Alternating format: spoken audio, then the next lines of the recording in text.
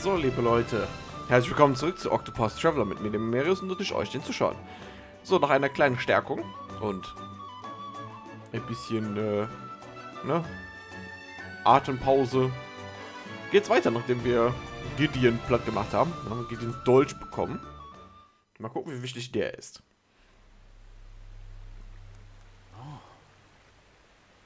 Puh, sie leben doch noch.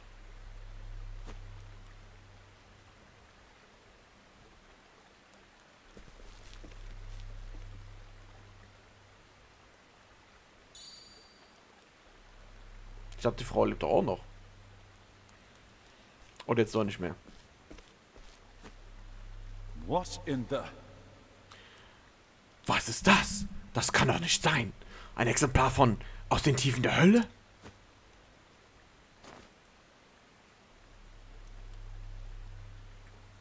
Hm. Ach, wie bedauerlich. Das ist nur eine gekürzte Ausgabe, noch dazu modern übersetzt. Und abgesehen von einigen einfachen Anleitungen zu den Riten und den erforderlichen Reagenzien, fehlen alle anderen Details. Nicht einmal der mögliche Nutzer dieser Blutkristalle wird erwähnt. Was haben wir denn da? Ein Stück Pergament steckt zwischen den Seiten? Berechnungen zur Anzahl der Versuchspersonen, die für einen Blutkristall erforderlich sind. Verstehe. Und das ist eine Notiz. Erstes Exemplar erfolgreich synthetisiert und geliefert. Geliefert? Könnte sein, dass jemand diesen furchtbaren Stein in Auftrag gegeben hat. Das ist reine Spekulation. Aber könnte derjenige, der hinter dem hier steckt, in Verbindung mit den gestohlenen Folianten stehen? Ach, guck mal. Wo, wo bin ich? Aha! Aha, ihr weilt wieder unter uns, Fräulein. Ich, ich fühle mich... Are you okay? Das Schlafmittel, welches euch dieser schreckliche Mann eingeflüstert hat, zeigt noch Wirkung. Ruht euch erstmal aus. Äh, Wer seid ihr? Excuse me. Eine ausgezeichnete Frage, meine gute. Und eine, die ich gern beantworte. Das heißt so, wir erzählen ihr gerade alles, was passiert ist. Oh, jetzt sind wir bei der.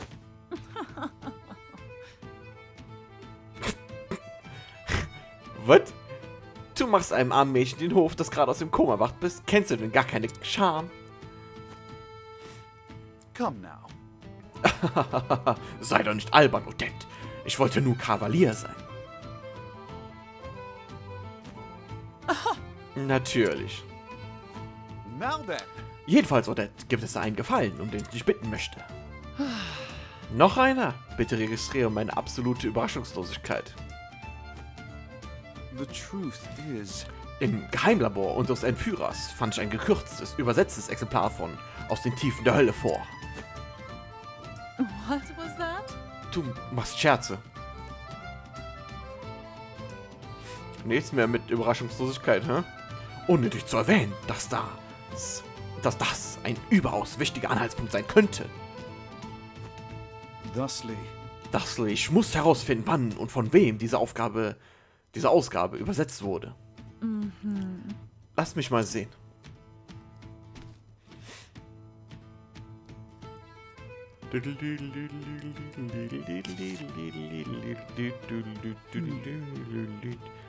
Absolut nicht im Takt, aber was soll's. Wer immer es gebunden hat, hat keine Kosten und Mühen gescheut. Indeed. Das, das dachte ich auch. Es gibt nur wenige Buchmacher im Reich, die solch einen Folianten binden können.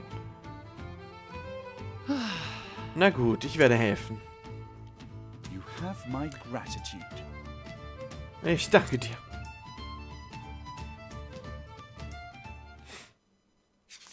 Ein bisschen Brainstorming, ne? Aha!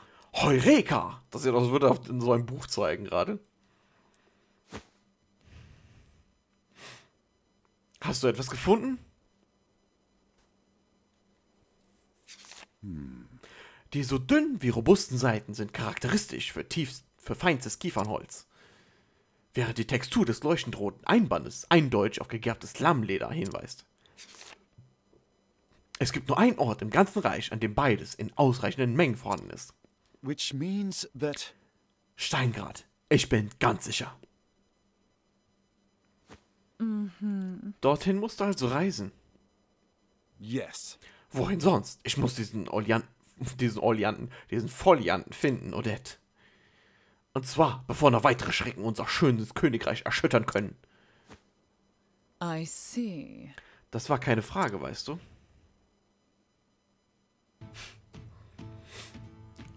Reisegeplänkel. Letzte mit Alfin. Ha. Alfin, mein Freund, ihr wirkt niedergeschlagen. Es ist nichts. Dennoch mache ich mir Sorgen um euch. Nun, ich muss immerzu an die armen Leute denken, die geopfert wurden. Eine schreckliche Sache. Menschen sollten nicht instrumentalisiert werden.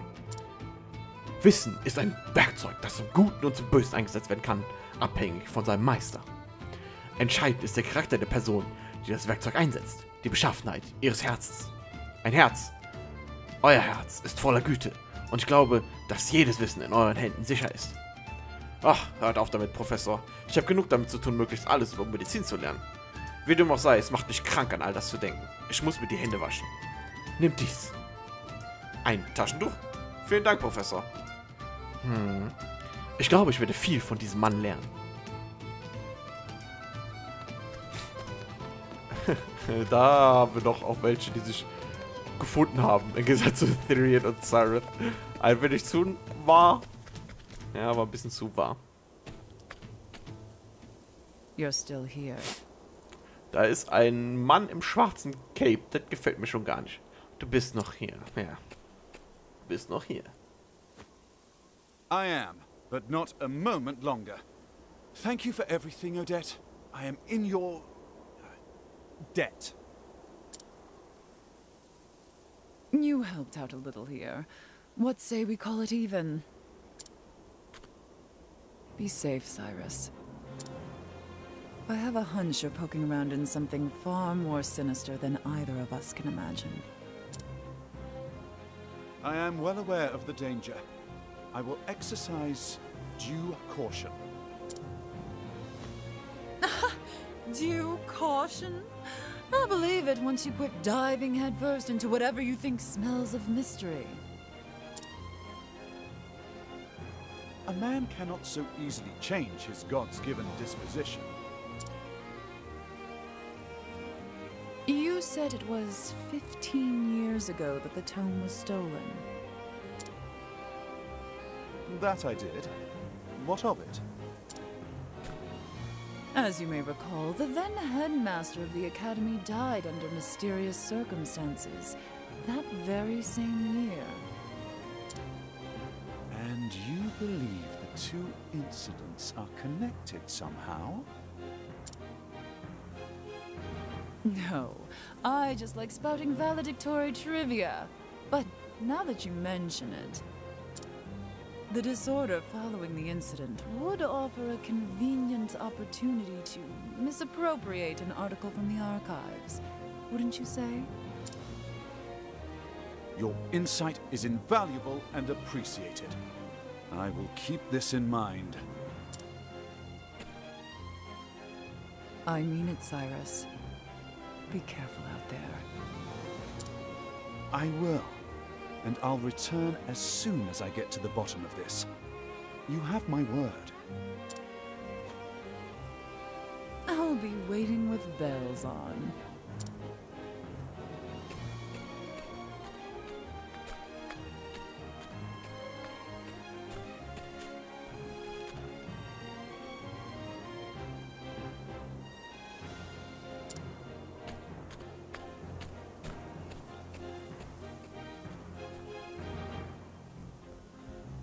Was habe ich gesagt?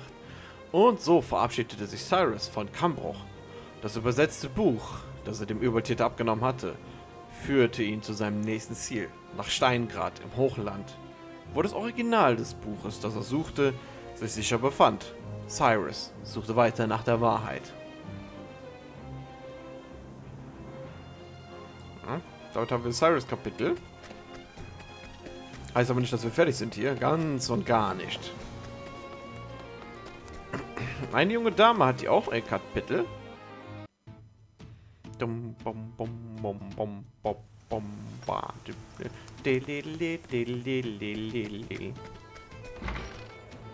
Hä? Ach ne, da war so Licht einfach nur. So, dann wollen wir unsere Gruppe wechseln. Ja, Alfred kann es kurz raus, ne? Ach Ja, und dann natürlich direkt Geschichte lausen. Du trittst in die Fußstapfen des namenlosen Autors und findest dich in einem Kammbruch wieder, das sich sehr von dem Ort unterscheidet, den er beschrieben hat. Hier beginnt deine Suche nach Handelsgelegenheiten.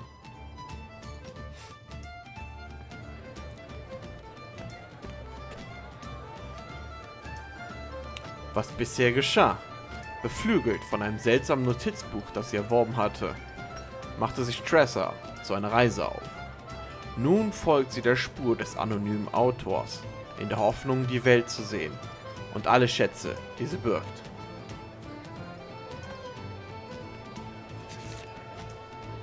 Wo war ich stehen geblieben? Jede Reise ist wie ein endloses Meer voller Gelegenheiten. Doch nichts ist so wertvoll wie die Begegnung mit anderen, neue Beziehungen aufbauen und sei es auch nur für eine kurze Zeit, ist ein unvergessliches Erlebnis. Denn es bietet einem die Chance, andere und sich selbst kennenzulernen. Ich werde heute hier übernachten, in Kambruch. Es ist eine verschlafene kleine Bergbaustadt. Im Moment wenigstens noch. Glaubt man den Gerüchten, gibt es in den Hügeln Gold. Und das hat das Interesse vieler Goldschiffer geweckt. Ich frage mich, welche Begegnungen mich hier erwarten mögen.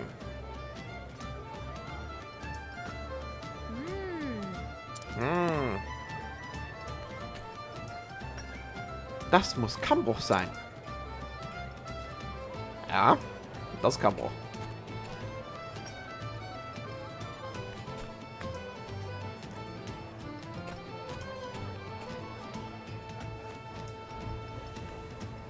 Als trostlos würde ich es allerdings nicht bezeichnen.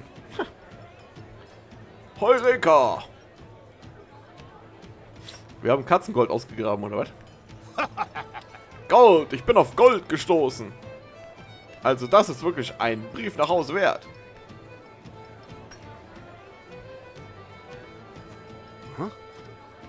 Wo ein Nugget ist, sind auch noch mehr. Und ich werde sie alle finden. Nicht, wenn ich sie zuerst finde, mein Freund. No way! Ich schätze, in diesen Hügeln gibt es wirklich Gold.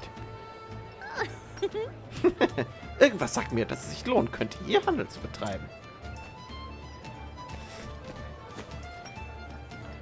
Okay. Sie hat was mit diesem Herrn Moloch. Moloch. Arbeit einstellen, da kommt Herr Moloch. Moloch. Moloch. Der sieht aus wie ein Koch. Der sieht echt aus wie so ein Koch. Good to see you. Schön, euch alle so aufrecht schuften zu sehen. Wer ist dieser Herr Moloch? Seht her, echtes Gold. Was schätzen Sie, wie viel es wert ist? Hm. Lass mich diesen schönen Nugget mal ansehen. Ich würde sie gerne für einen angemessenen Preis abkaufen. Ich sage es noch einmal, also hört gut zu. Diese Mine und das ganze umliegende Land sind alleiniges Eigentum des verehrten Herrn Morlock. Deshalb gehört alles Gold, das hier gefunden wird, dem Gesetz entsprechend ebenfalls ihm. Doch zu eurem Glück ist Herr Morlock sehr großzügig und wird jedem seinem Goldvoll- Goldfund abkaufen. Goldfund. Grabt also weiter, dann werdet auch ihr vielleicht schon bald unermesslich reich sein. juhu, juhu, juhu. Sieht ganz so aus, als ob dieser Morlock diese Mine fest im Griff hat. Dann werde ich hier wohl nicht mit Gold handeln. Aber trotzdem. Lässt sich mein Händlersinn auf einträgliche Geschäftsmöglichkeiten in dieser Stadt ho hoffen. In dieser Staff. Staff. Stadt. Der sieht aus, als hätte er einen Fahrradhelm auf. in der Stadt umsehen. Da wir uns ja schon mehr oder weniger umgeguckt haben, direkt zu den Story-Bereichen. Ich grabe und grabe und grabe und kann trotzdem kein bisschen Gold finden. Dash it. Verdammtes Pech, ich habe so auf eine Chance gehofft, alles zum Besseren wenden zu können. Ich war so ein Narr. Ich habe mir sogar Gold geliehen, um herzukommen. Wie kann ich jemals wieder meine Frau unter die Augen treten?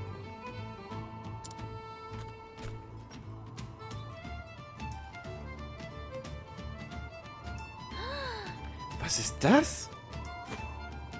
Entschuldigt, mein Herr, ich werde euch diese Steine abkaufen. Ja. Ja, äh, wirklich? Hm. Ich habe den Dieb. Ah! Unscheinbare Steine abkaufen. 500. Ein matter schwarzer Stein. Wird richtig poliert, glänzt er hell. Nachlass 225. Oh, nett. Ihr könnt meine Ware gebrauchen. Seid gesegnet. Für ein gutes Geschäft bin ich immer zu haben. Ich ich kann dir die nicht guten Gewissens verkaufen, Fräulein. Das sind nur gewöhnliche Steine. Aber ich bestehe darauf. Ich bin Händlerin und ich ahne, dass sie mehr hergeben, als auf den ersten Blick scheint. Why, thank you. Dann sollen sie dir gehören. Herzlichen Dank.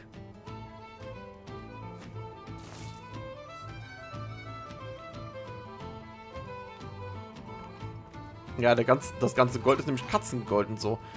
Ich glaube, äh, die, die was finden, also die, die Gold finden, sind praktisch mit unter diesem Morlock unter einer Decke. Könnte sein, so dass halt äh, dieses Dorf bewohnbar gemacht wird. Das heißt, die müssen dann alle Steuern doch an dem zahlen, oder? Das heißt, so vermehrt er seinen Reichtum, ohne wirklich Geld auszugeben für diese ganzen Goldfunde. Unter dieser Dreckkruste wartet dieser prachtvolle Edelstein nur darauf, entdeckt zu werden. Well, well. Du hast ein gutes Auge, junge Dame. Huh? Entschuldigung? Der sieht doch echt aus, als hätte er einen Fahrradhelm auf, oder? Oh. Hey, das sind dieselben Steine, die ich gekauft habe. Ganz recht, ich bin einfach ein Händler. Mein Name ist Ali. Meister Vini, alia Babwa. I'm Tressa. Ich bin Tressa. Ich bin ebenfalls erfahrene Händlerin. Noch nie zuvor habe ich Steine gesehen, die derart leuchten. Auf den ersten Blick sehen sie wie gewöhnliche Steine aus, aber das kann mich nicht täuschen.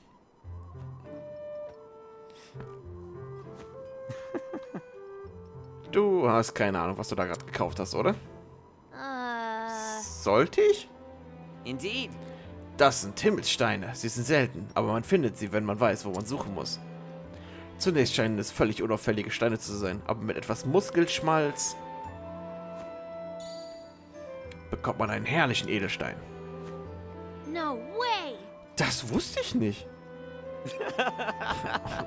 Und trotzdem hast du all diese Steine gekauft. Was bist du doch für ein Grünschnabel? What? Grünschnabel? See you around. Tja, immer nur weiter so. Wir sehen uns, Grünschnabel.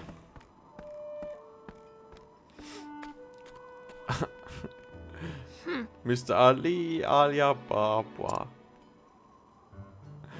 Hm, Grünschnabel. Und er ist ein fieser Geier. Mit Fahrradhelm. Aber dafür ist keine Zeit. Ich muss die Steine verkaufen. G -g -g Quatsche? Na, Reisegeplänkel? Oh, ne, noch nicht. Ach, da wird dieses Stück grün. Kommt her, kommt alle her! Seid die Ersten, die einen der seltensten Schätze des Reichs ergattern können. Oh. Gold? Nö, viel besser als Gold. Und jetzt wirft ein Blick auf den glänzenden Himmelsstein. Den? Das du hast auf fünf Stücken, Madame. Oh my. Oh mein, oha! Ho! Seht nur, wie der funkelt. Oh! Lasst mich mal sehen. Und eine echte Schönheit, nicht wahr? Why, I? So etwas habe ich noch nie gesehen. Absolut atemberaubend. Yes. Ja, aber wusstet ihr, dass der Glanz des Himmelsteins nur noch von seiner Seltenheit übertroffen wird? Wenn ihr also einen kaufen wollt, könnte dies eure einzige Chance sein. I see. Ich nehme einen. Splendid. Oh, ich auch. Pleasure doing business with you. Ja, genau das, was er gerade gesagt hat. Ist mir ein Freu Vergnügen oder eine Freude, mit euch Geschäfte zu machen.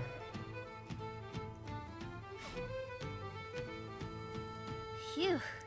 Puh, die Steine gingen weg wie geschnitten Brot.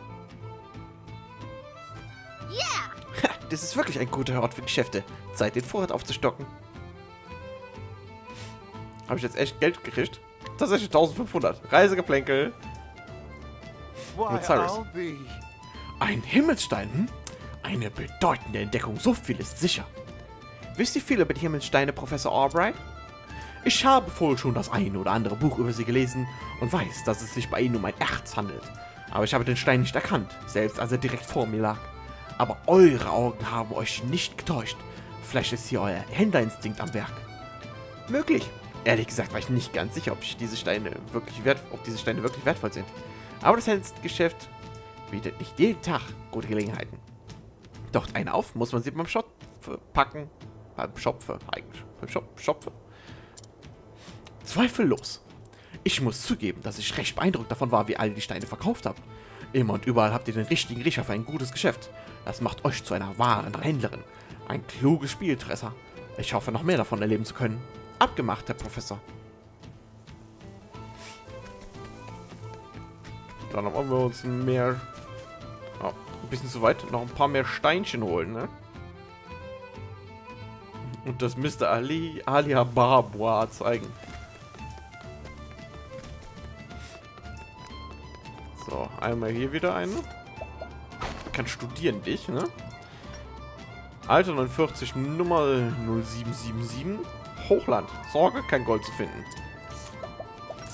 Kaufen wir die, die ab.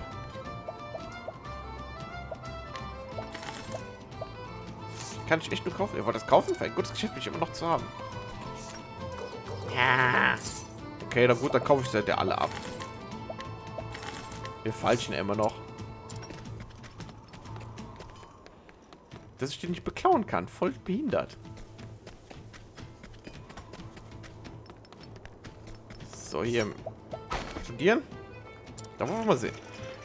29, Nummer 419, Geburtsort Sonnenland. Motto, wer arbeitet, muss auch essen. okay. Alles kaufen. Geheimnisvolles Erz. Und unscheinbarer Stein. Das gefällt euch? Na, dann nimmt's euch. Äh, wirklich noch da oben? Pff, verdammt.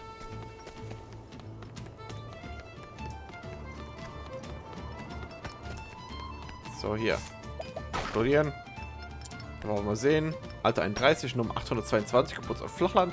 Rang 102 von 1274 in der Menge abgebauter Mineralien. Sehr interessant. Katzengolderz 7000, seltener Stein 5000. Aha, okay. Seid ihr die Person, die alle die Steine kauft, für ein gutes Geschäft mit jemand zu haben. Das sollte genügen. Jetzt zurück zum Platz. Zum Bazar gehen.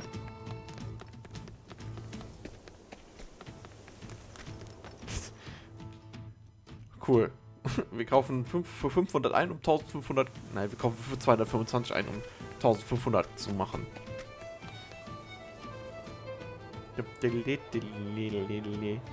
Und jetzt wieder... Tretet näher. Be the first in line to see the rarest. Das sagt sie jetzt wieder selber.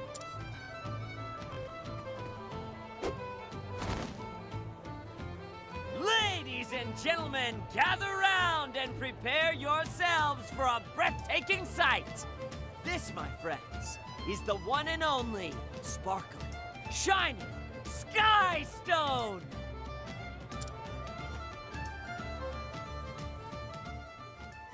You can be the proud owner of these lovely gems for just a fraction of her prices. What?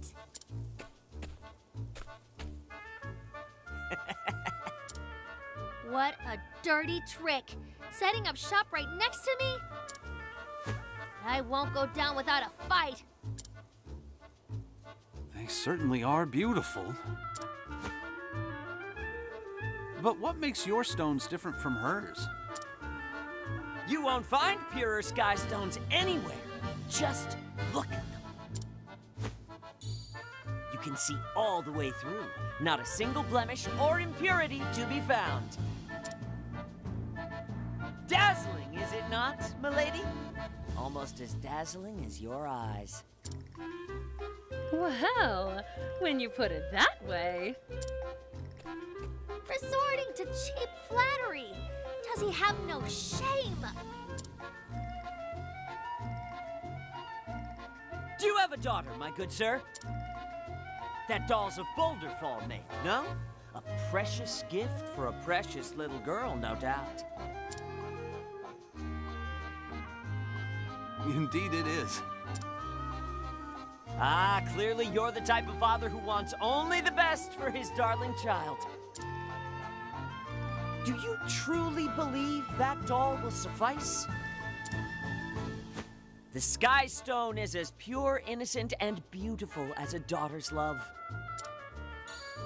And every time she sees its radiant glow, she'll remember her dear father who gave it to her.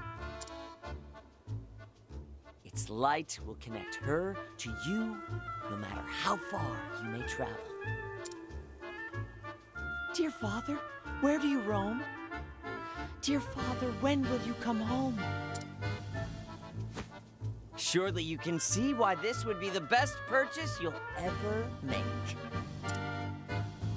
I can just see her smiling face now. What a pleasant young man. Yeah, I'll take one. You're most welcome, my good sir. Oh, what? Step right up. There's not a moment to spare if you want a rare sky stone to call your own. You won't find them anywhere else. I promise. You won't be disappointed. I'll take one, please. One for me, too. Thank you. Thank you.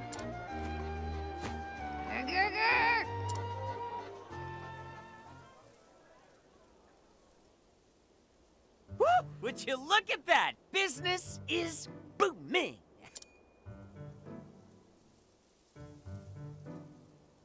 Well, maybe not for all of us. You win this round. There's no way I'd lose to a green pea like you. I'll admit, I've never seen anyone make a sale like that before. Practice makes perfect. If you want to survive in this world, you need to learn how to tug heartstrings and loosen purse strings. But being a merchant is about more than just making a sale. A good merchant should understand what their customer needs and sell them what's best. What I sell may not be what they need, but it is what they want. What's wrong with a little embellishment? Embellishment? A merchant's words are like a warrior's blade. Don't forget it, Green Pea.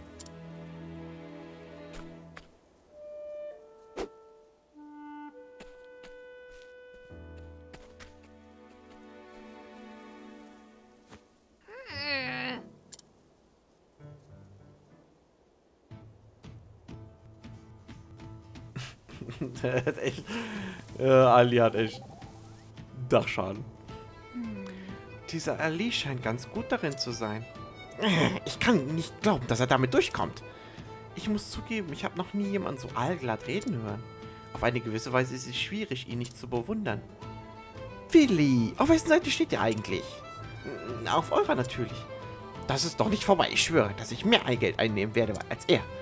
Recht so, und ich werde euren Erfolg segnen. Meint ihr, ich soll meine Verkaufspraktiken üben? Ihr meint, um so zu überzeugen zu werden wie Ali?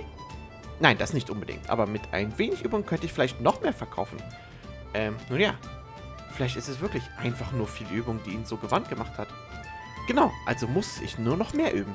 Am besten fange ich sofort damit an. Ihr spielt eine Kundin, in Ordnung? Äh, Mo- Moment, was? Sehr schön. So, bevor wir weitermachen, würde ich sagen, wir machen hier eine Pause. Schön 30 Minuten, ne, passt auch ganz genau.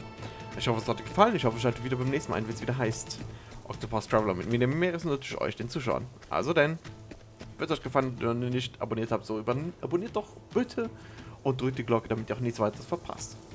Vielen Dank an dieser Stelle fürs Zusehen und ich hoffe, wir sehen uns beim nächsten Part. Also bis dann, haut rein, liebe Leute.